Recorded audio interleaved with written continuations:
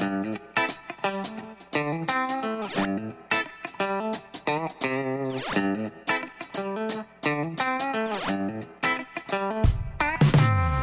привет! С вами я, Дмитрий Фреско. Вы смотрите кулинарную пропаганду. Ну как, понравилась вам такая закуска? На самом деле это были мои бездарные потуги оформителя, а ролик сегодняшний я затеял только для того, чтобы поделиться с вами чужим рецептом. Огромнейшая благодарность люди, хозяйке дома, в которой снимался ролик про тандыр, и просто замечательному человеку. Сегодняшний э, рецепт пасты, не знаю, соуса, ну, в общем, сегодняшней закуски, целиком полностью ее. Не обращайте внимания на кажущийся примитивизм рецепта. На самом деле, это тот самый случай, когда гениальность в простоте. Итак, для сегодняшнего рецепта нам понадобится баклажаны, чеснок, базилик, э, сметана или йогурт несладкий, горчица, какие-нибудь сухарики для подачи, рыбка для украшения, колбаска для украшения, тоже зелень, помидоры. Короче, все прочитаете реально непосредственно для рецепта. Нужны только баклажаны, чеснок, э, йогурт или сметана, горчичка, масло, соль и все. Все остальное, что вы видите, это богатство, я выставил на стол только для оформления подачи, так сказать. Вы можете свое что-то придумать. Итак, поехали. Баклажаны надо запечь. Так что просто разрезаю каждый пополам спонсорским ножом. Самуру Хайкарбон. Да, я не предупредил заранее. Духовку нужно разогреть до 190-200 градусов. Остается слегка сбрызнуть баклажаны маслом. Ну, вот так вот. И можно отправлять запекаться. Примерно на 30-35 минут. Нагрев у меня верхний и нижний, но это не важно.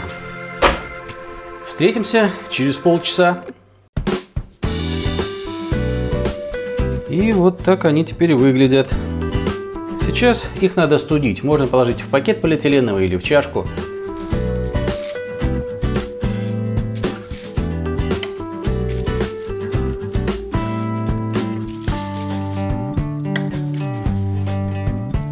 Накрою, чтобы не подсыхали. И в холодильник.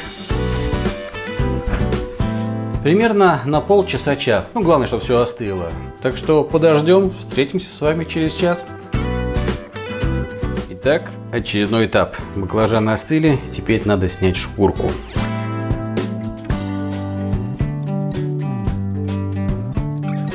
И для того, чтобы соус был более густой, желательно избавиться от лишней жидкости. Попросту отбросить на дуршлаг и все.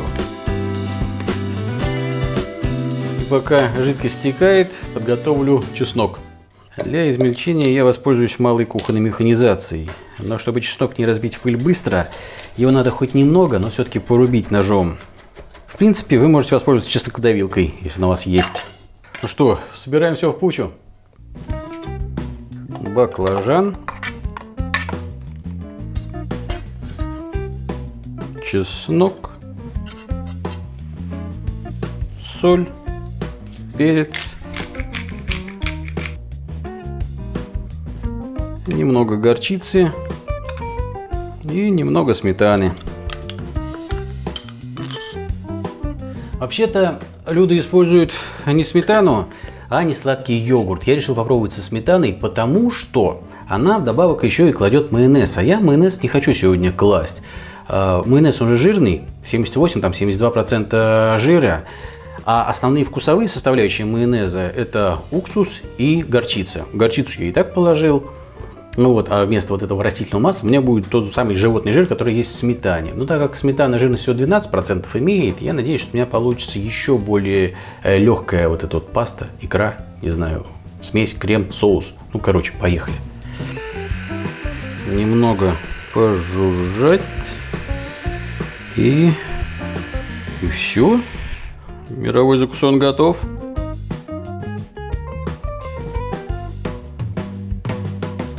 Вот супер штука. Вот элементарно просто. Но за счет горчицы, чеснока, э, сметанки.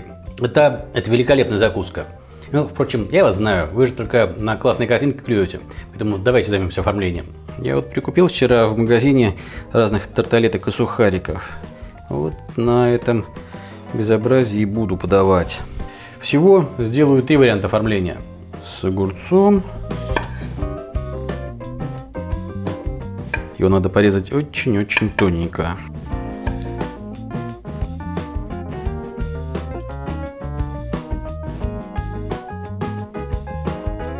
С вот такой лонганисой. Это традиционная испанская колбаса сыровяленая. И с подкопченным лососем. Я же вам уже показывал, как его копчу, верно? Вот в этом ролике. Щелкните, посмотрите. Ну а для удобной закладки воспользуюсь кулинарным мешком. Можно вообще обычный полиэтиленовый пакет использовать. Положить туда всю эту смесь, отрезать уголок и вперед. Сюда.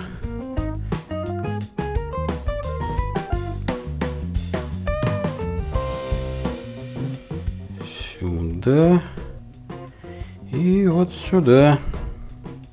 Супер! И по такой же схеме все остальные тарталетки.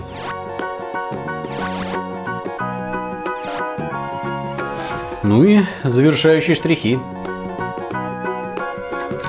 Парочка перышек лука и рыбка.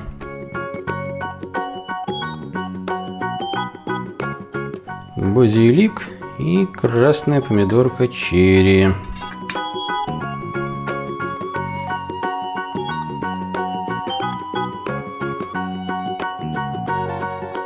Так, и бутончик петрушки и желтый помидорка черри.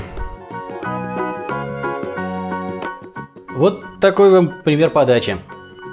А можно, к примеру, баклажан тот же самый кружочками нарезать, запечь и потом на запеченную же или на поджаренный выложить вот эту самую икру, ну или как ее назвать, не знаю. Так, а, проба первая. Сухарик с икрой, с пастой, с соусом, с баклажанным соусом и с рыбкой. Очень классное сочетание. Вот, вот классное. Я, в принципе, люблю баклажаны, запеченные в особенности. А здесь за счет использования сметаны и горчицы такой и вкус печеных, и вкус кислинки вот этой, и перец тут себя тоже дает знать. Великолепно. Так, теперь попробуем вот эту вот тарталеточку из слоеного теста с колбаской, с помидоркой. Интересно, какое сочетание здесь получилось. Потому что я вообще вот эту пасту пробовал без сухариков, без тарталеток. Просто на овощах. Это было классно. Так, секунду. Неплохо, но с рыбкой понравилось больше. Потому что колбаса недостаточно яркая. Нужно либо больше этой колбаски положить, либо использовать, может, больше, более острую. Там охотничьи колбаски или чериза. Ну, это в следующий раз. Ну и последний, так сказать, закусончик, это так скажем, вегетарианский. Базилик пахнет так классно. Давно я не делал пиццу Маргариту, надо будет приготовить.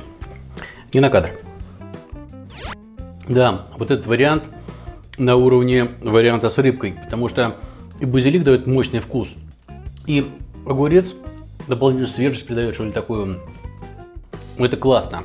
В общем, будете повторять, с вот такой колбасой Наверное, нет, нужно что-то более острое использовать. Либо перца добавить побольше, красного может быть. А вот с огурцом и с рыбой сразу, просто вот в путь. Спасибо еще раз, люди, за рецепт. Вам спасибо за компанию. Повторяйте эти замечательные бутербродики на закуску. Всем пока!